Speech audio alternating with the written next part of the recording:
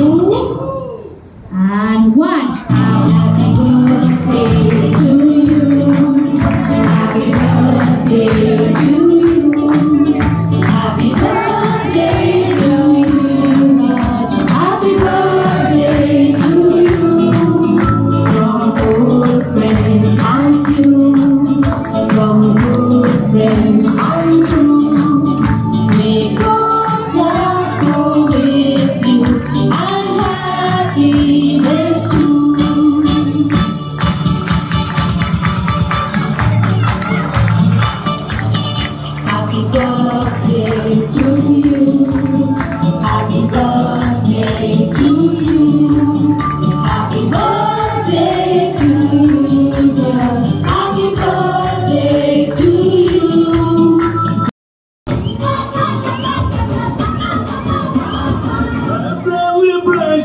Not just music